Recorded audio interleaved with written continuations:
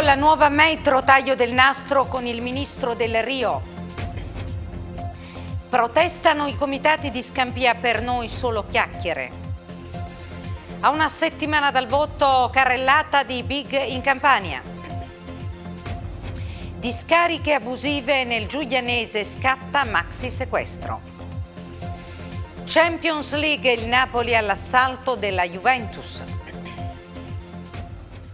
Buon pomeriggio a tutti, buon sabato, bentrovati al nostro telegiornale. È stata inaugurata questa mattina dopo dieci anni la stazione di Piazza Municipio appunto della metropolitana. Un'opera all'avanguardia per servizi e per funzionalità. Vediamo.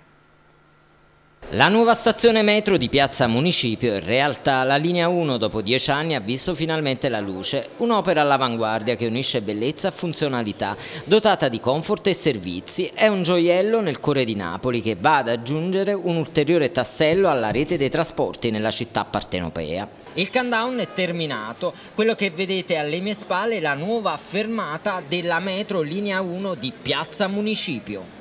Dai dipinti alle scale mobili, la nuova stazione guarda al futuro e soprattutto al contesto in cui è inserita. Sarà aperta ufficialmente il prossimo 2 giugno quando cittadini e pendolari ne potranno usufruire pienamente. E siamo all'interno della nuova stazione della linea 1 della metro di Piazza Municipio, un'opera davvero avveniristica, ricca di particolari e dettagli interessanti, un fiore all'occhiello non solo per Napoli ma per tutto il mezzogiorno giorno. Per completare l'opera che si estenderà verso Capodichino saranno necessari altri 5 anni, poi la metropolitana di Napoli sarà completa e rappresenterà uno dei massimi modelli architettonici nel mondo. Ma quella inaugurata stamane è solo una parte della nuova stazione. Per avere il lavoro completo ci vorranno almeno altri 5 anni. Vedete qui alle mie spalle il cantiere che fa da sfondo al maschio angioino. Un'opera davvero imponente.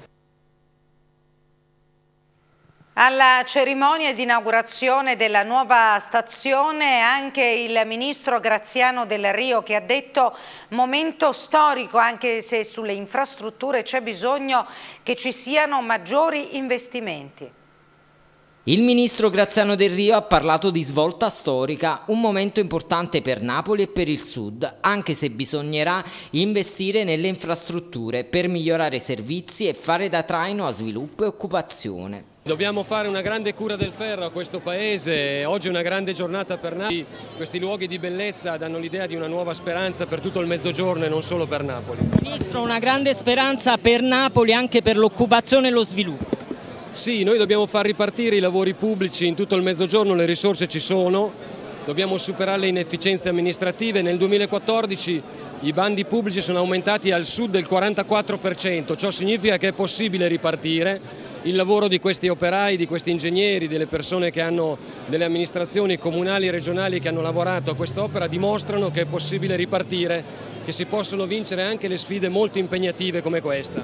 Il sindaco De Magistris invece ha sottolineato l'importanza dei trasporti con uno sguardo rivolto al futuro. È venuto col ministro Del Rio a testimoniare che questa è una delle più importanti opere pubbliche italiane in questo momento grazie alla fatica di tanti operai, di tanti lavoratori, grazie all'impegno duro, costante, serio e difficile dell'amministrazione comunale che non dimentichiamoci ha ottenuto i finanziamenti anche per il completamento sino a Capodichino e oggi inauguriamo una stazione che è straordinariamente bella, affascinante e che secondo me fa da competizione alle altre bellissime stazioni che abbiamo inaugurato nel passato, ma noi andiamo, guardiamo già avanti, guardiamo a Riviera di Chiaia, guardiamo a Capodichino, guardiamo alle altre stazioni perché il lavoro deve continuare, la metropolitana deve viaggiare ancora parecchio. Vorrei anche ricordare che a differenza di chi del passato si era completamente scordato dei treni, lo voglio sottolineare, noi abbiamo bandito qualche giorno fa, abbiamo autorizzato la gara per 100 milioni di euro per i treni, i primi treni arriveranno nel 2016. Sulla stessa lunghezza d'onda il cardinale Crescenzio Sepe. Un momento importante per Napoli. Beh certo, quando c'è un'inaugurazione, quando si tratta di un'opera così utile anche per, per la gente, allora significa che è una realtà bella, in crescita e che dà un contributo enorme anche alla, alla vivibilità perché tutto questo significa anche volontà di impegnarsi a rendere la qualità della vita sempre migliore. Questo è il sud che ci piace e questo è il sud che cresce. È questo, dovremmo molto battere su queste, queste strutture perché, perché, perché solo dando dei segni concreti della capacità, della professionalità, ma soprattutto in relazione a quello che può essere l'utilità che fa la gente, il popolo, questo sì che sono dei segni veri, dei segni concreti e di questo noi oggi abbiamo particolarmente bisogno. E davanti alla nuova stazione anche i residenti di Scampia che hanno chiesto al sindaco ma anche al ministro un maggiore impegno per il popoloso quartiere. Pene, carceri speciali! Davanti alla stazione di Piazza Municipio anche i residenti di Scampia hanno chiesto a sindaco e ministro un intervento immediato nelle vele. Il popoloso quartiere ha bisogno di una politica abitativa diversa dove prevalgano investimenti, bonifiche e soprattutto aiuti ai residenti. Una questione che ormai va avanti da anni e rispetto alla quale i cittadini più volte hanno protestato contro il silenzio delle istituzioni. Per Scampia, per far finanziare il piano di fattibilità a completamento del piano di riqualificazione. Vogliamo non solo case, vogliamo che Scampia cambi da quartiere monouso ad un vero e proprio ruolo metropolitano. Vogliamo che Scampia esca definitivamente fuori dall'immaginario collettivo che i media e tutti quanti hanno dato. Non è così. Scampia è fatta di cittadini che si alzano la mattina e vanno a lavorare Francamente è difficile per me vedere un centrodestra senza Silvio Berlusconi, lo ha affermato alla stampa Francesca Pascale che su Marina Berlusconi a capo di Forza Italia dice mi piacerebbe moltissimo ma suo padre non vuole. La Pascale lancia invece Mara Carfagna dicendo è l'unica che si batte veramente per il diritto civile. Bagno di folla ieri a Salerno per la visita del Premier Matteo Renzi e la kermesse elettorale con Vincenzo De Luca. L'evento è stato trasmesso in diretta da TV Luna con in collegamento Salvatore Calise e Massimiliano Guerriero. Per il Premier con De Luca governatore la campagna uscirà definitivamente dalla crisi. Se la campagna sarà amministrata nei prossimi anni come è stata amministrata a Salerno, il PIL del nostro paese crescerà tra lo 0,5 e l'1%. Basterebbero solo questi 20 secondi dell'intervento di Matteo Renzi a Salerno per dissipare ogni eventuale dubbio residuo sul feeling tra il Premier e Vincenzo De Luca, perché ieri, in 40 minuti circa di intervento a braccio, il primo ministro e segretario del PD ha chiarito una volta e per tutte che la vittoria in campagna è una questione di importanza nazionale. Qui si decide il destino dell'Italia e quindi basta polemiche sugli impresentabili e via dicendo. Renzi è arrivato a Salerno per dare inizio a una narrazione diversa della campagna, lotta alla burocrazia burocrazia, creazione di un mega distretto turistico, lavoro come antidoto al veleno della camorra. La sintonia con De Luca è totale. C'è bisogno di spendere i 600 milioni sulla depurazione, per i motivi che ha detto Enzo, e anche perché stanno arrivando le sanzioni dall'Europa. È ridicolo che l'Italia prenda le sanzioni perché non ha fatto gli impianti di depurazione. È ridicolo, è inaccettabile e non è soltanto un problema campano, ma lo dico in Campania. Ci sono le partite che riguardano la città di Napoli le ha citate tutte Enzo, non ho bisogno di ricordare, a partire da Bagnoli.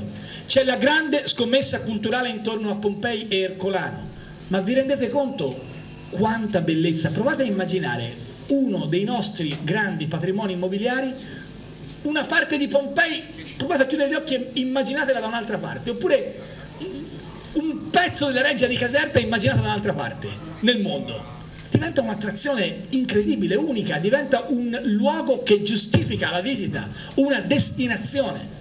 Ma è possibile che noi che siamo baciati da tanta bellezza non riusciamo a reggerla e a valorizzarla quanto dovremmo. Per il primo ministro questa è la volta buona e ne è convinto soprattutto dopo aver visitato assieme a De Luca il porto turistico di Marina Rechi, la cittadella giudiziaria e l'unico sito di compostaggio realizzato in Campania. Ma guai a riposarsi sugli allori, domenica si vota, questa sarà la settimana della vita o della morte. Questa campagna elettorale non è la campagna di Enzo De Luca, non è la campagna del PD è la campagna elettorale nella quale si decide se iniziamo a spendere bene i fondi europei o continuiamo a buttarli via, se iniziamo a creare posti di lavoro o continuiamo a buttarli via, se iniziamo a fare della cultura il motore di sviluppo del nostro paese o no, se iniziamo a fare dell'agroalimentare non soltanto un settore che tira ma un modo di affermare la nostra identità. Applauditissimo l'intervento di Vincenzo De Luca, il candidato governatore ha ricordato tutti i punti salienti del programma anticipati a TV Luna nel corso delle puntate della trasmissione intitolata Testa Alta. Ascoltiamo un estratto dell'intervento di ieri. Noi cercheremo di chiedere un aiuto al governo, avremo bisogno di un aiuto da parte del governo per i processi di reindustrializzazione per chiedere che i grandi gruppi nazionali non abbandonino la campagna, questa è una terra che non può essere desertificata, altrimenti diventa complicato anche la battaglia per la legalità, perché quando in un grande quartiere un padre di famiglia, un ragazzo per un anno, due, tre, cinque non ha una speranza di vita e di lavoro, prima o poi incontra la camorra, questa è la battaglia vera contro la camorra. Allora, noi ci presentiamo, ci proponiamo per fare queste cose, creare lavoro e voi sapete meglio di chiunque altro, e l'ultima cosa e finisco, che la sola vera grande speranza di avere legalità e trasparenza è legata alla nostra vittoria. È stato il governo nazionale che ha commissariato l'azienda ospedaliera di Caserta, inquinata da infiltrazioni camorristiche. Lo sapete voi e lo sappiamo tutti in Campania, c'è un vero sistema di potere duro che deve essere sconfitto ed è quello che si aggrega intorno a Luigi Cesaro che non vota per noi ma vota per qualcun altro. Allora, noi ci presentiamo così, a testa alta, per questo lo slogan, a testa alta noi siamo la nuova campagna, siamo la campagna civile, la campagna laboriosa, la campagna che ha anche aree di sofferenza sociale, ma che ha anche, come dire, il senso del futuro, della sfida della modernità. Sapete voi e lo sanno tutti in campagna, anche le pietre, la sola vera speranza di cacciare dalle istituzioni delinquenti è rappresentata dalla nostra vittoria. Voltiamo pagina, un ordigno è stato fatto esplodere la scorsa notte davanti alla saracinesca del deposito di un'enoteca in via San Pietro a Maiella. L'esplosione che ha svegliato gli abitanti della strada ha danneggiato la saracinesca del deposito e mandato in frantumi i vetri del locale sia quelli anche eh, di alcune abitazioni dello stabile. Torna in piazza il mondo della riabilitazione. Ieri protesta contro le liste d'attesa e i tagli imposti dalla giunta regionale. Oltre 3.000 i posti a rischio nel comparto.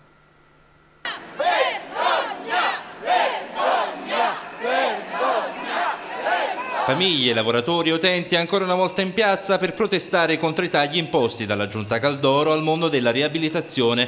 Oltre 2.000 i manifestanti che sono partiti verso le 10.30 dalla colonna spezzata per poi raggiungere verso mezzogiorno la sede della Regione Campania. Qui gli organizzatori della marcia hanno consegnato le lettere con cui si avviano le procedure di licenziamento per 3.500 persone.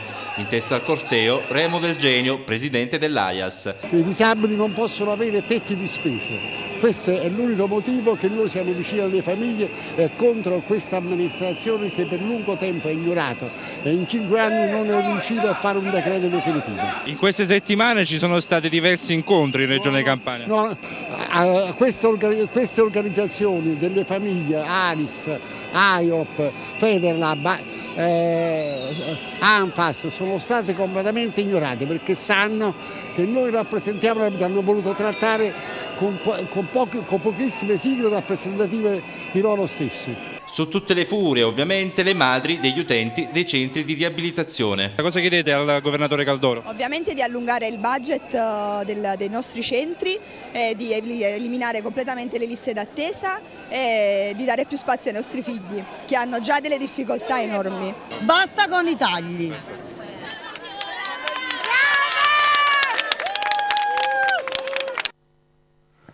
Barricato in casa dopo una rapina insieme al figlio si scaglia contro i poliziotti che poi arrestano entrambi. È successo ieri sera a Napoli, protagonisti Mario Nurcaro, 47 anni, e il figlio Vincenzo di 25 che hanno messo mobili e suppellettili dietro la porta di casa per impedire ai poliziotti di entrare. Quando gli agenti ci sono riusciti, due li hanno aggrediti ferendone due in maniera lieve. Mario Nurcaro è stato accusato di resistenza resistenza pubblico eh, ufficiale e lesioni in concorso con il figlio.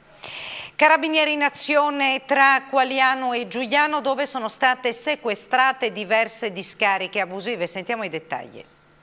Tre discariche abusive sono state scoperte tra Varcatura e Qualiano dai carabinieri che hanno denunciato cinque persone. I militari dell'arma hanno fatto scattare i sigilli a tre aree sulle quali sono stati rinvenuti rifiuti speciali pericolosi. Le discariche sono state scoperte nel corso di una serie di servizi contro l'inquinamento ambientale ai quali hanno partecipato i carabinieri di Giuliano insieme a quelli del Noe di Napoli con il supporto di un elicottero del nucleo di Ponte Cagnano per individuare dall'alto aree con sversamenti o accumuli sospetti. Nei guai in particolare un 47enne di Pozzuoli e un 45enne di Castelvolturno, proprietari di un'area di circa 1000 metri quadrati sulla Domiziana, dove sono stati ammassati circa 215 pneumatici per autotreni.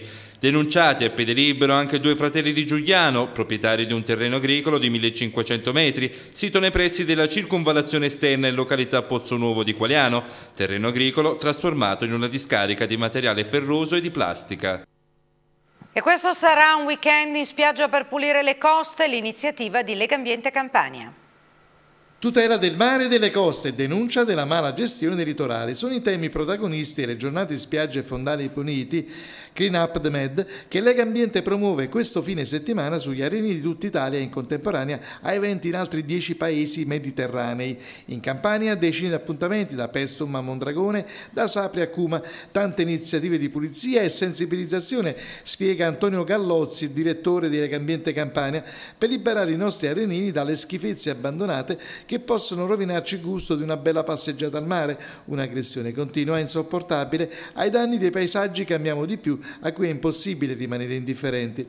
Lega Ambiente in apertura del weekend presenterà il dossier Spiagge indifese, una fotografia dello stato di salute delle coste italiane, in particolare dei processi di erosione che minacciano il litorale. Secondo un rapporto in Campania, su 224 km di spiaggia, 95 sono in erosione, pari al 42,4% e davanti a questi numeri incombe un grande progetto di artificializzazione su 30 km di costa nel Golfo di Salerno, dalla Piana del Sele alla foce del Picentino e Torrente Fiumarello. Giancarlo Chiavazzo, il responsabile scientifico di Campania, propone di intervenire delocalizzando strutture e infrastrutture nei punti più critici, riattivando il trasporto solido del fiume Sele e degli altri corsi d'acqua oggi impedito da opere idrauliche in alveo o sui versanti non sempre necessarie, ripristinando sabbie perse con ripascimenti prelevati da depositi di mare profondo. Gli appuntamenti sabato e domenica sono a Ponte Cagnano, Mondragone, Saprica, Salvedino, Salerno, Mercatello e Licola Cuma. Il 6 settembre Gigi D'Alessio in concerto alla Reggia di Caserta per la Terra dei Fuochi. Gigi D'Alessio, per la prima volta possiamo dire che eh, la musica passa in secondo piano in un tuo concerto.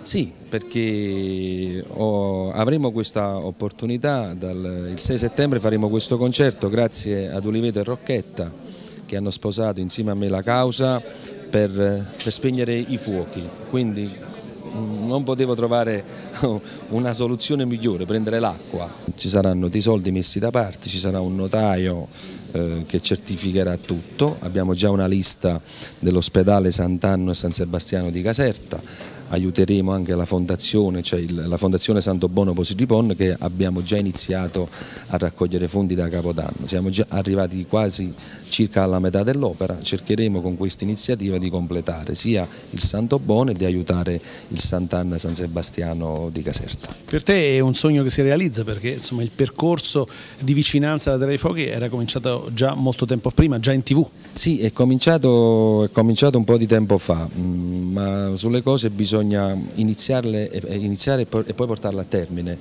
io grazie a questa iniziativa, ripeto, grazie a questa azienda, le due acque che sono Olivete e Rocchetta che hanno creduto nel mio progetto perché non sono acque campane, quindi una è toscana e l'altra è umbra Allora per me è un motivo d'orgoglio ancora in più prendere due aziende diciamo, del centro-nord Italia e farle investire sulla nostra, sulla nostra regione. Tra, tra un po' la campagna va al voto, cosa occorre?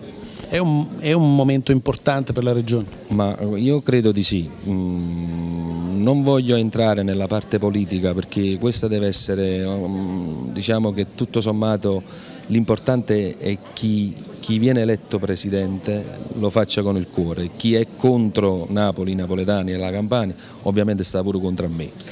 Eh, tutto qua, poi il, il cittadino saprà decidere. Una frase della tua canzone chi sti vico che scendono con i miei capelli una femmina. Ed ora lo sport, il calcio alle 18 il Napoli andrà all'assalto della Juventus per conquistare una vittoria fondamentale per la corsa alla Champions League. È la prima delle due finali che il Napoli deve vincere per strappare il pass per i preliminari di Champions League. La squadra di Benitez fa visita alla Juventus nel giorno in cui i bianconeri di Allegri festeggiano lo scudetto e la Coppa Italia. Amsic e compagni non potranno sbagliare perché soltanto con i tre punti resterebbero in corsa in attesa del derby di lunedì tra Lazio e Roma. Prima di lasciare Napoli, Benitez vuole poi regalare alla società e ai tifosi l'accesso alla Champions League, ma l'impresa non è agevole valutando l'alto coefficiente di difficoltà delle due sfide contro Juventus e Lazio. Si comincerà alle 18 nella Tana dei Campioni d'Italia con un Napoli d'assalto che ripresenterà Higuain al centro dell'attacco. Il Pipita decisivo nella Supercoppa italiana a Doha vuole ripetersi contro i bianconeri con il sostegno di Mertens sulla fascia sinistra. Il belga in condizioni smaglianti e potrebbe rappresentare uno dei grimaldelli per aprire la difesa della Juve. La tre quarti sarà completata da Amsic al centro e Caglion a destra. A centrocampo saranno titolari Davide Lopez ed Hiller, a protezione di Anducar, difesa già delineata con la coppia centrale Albiol Britos e i due laterali Maggio e Gulam. A casa, oltre allo squalificato Colibali, sono rimasti Zapata e Mesto, messo KO da un trauma contusivo. Sul fronte Juve, nel giorno della festa scudetto, Allegri ricorrerà un turnover moderato, presentando in campo diversi titolari. Tornano sicuramente dal primo minuto Marchisi e Morata, che hanno saltato per squalificare la finale di Coppa Italia contro la Lazio. A fianco dello spagnolo in attacco dovrebbe giocare Coman favorito su Matri. Tra i pali ci sarà Buffon con Padoin, Barzagli, Ogobon e Asamoah sulla linea difensiva. A centrocampo Marchisio play basso con Sturaro e Pogba ai suoi lati. Intanto il presidente De Laurentiis ha convinto Pepe Reina, il portiere spagnolo tornerà a Napoli firmando un contratto triennale.